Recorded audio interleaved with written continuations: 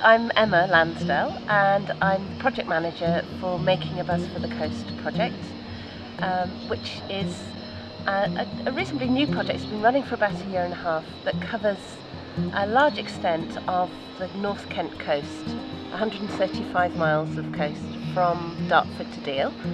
And it's a very exciting, very ambitious project. We do a whole range of different activities. Um, focused mainly on uh, conservation for uh, wild bumblebees. So Kent is probably the most important county in the UK for its bumblebee species. It has 22 of the 24 species present and five of the seven rare species are found within the uh, project area that um, we're covering. So we have we have enormous sort of responsibility and great privilege to work on some fantastic sites across the whole of this area. One of the key uh, roles that I play is to oversee and support the team that work for the project. We have Bex Cartwright, who is Conservation Officer for the East Kent area of the project, running from Faversham right round to Deal.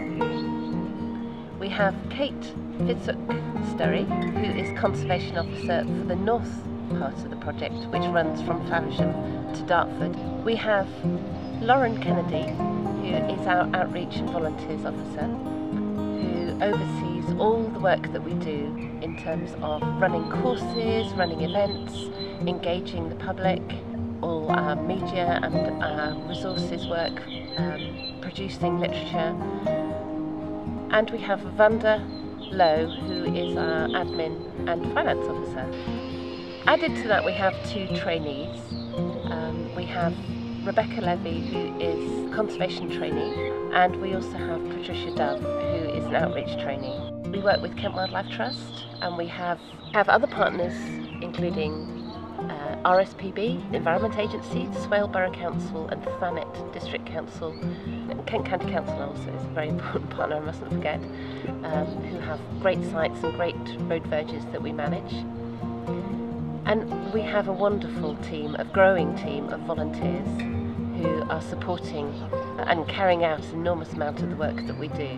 And a very important part of our project is to grow the volunteer base, uh, to help people to start to become more familiar with bumblebees, so uh, giving them training courses in identification, helping them to do recording on the ground through our bee walk methodology, helping people to actually take the word out to other people about how important Kent is for bumblebees what sort of conservation measures we can all make.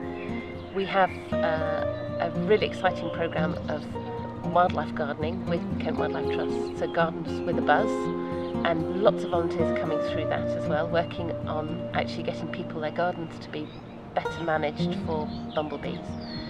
So we do a lot of a whole range of many, many different types of activities.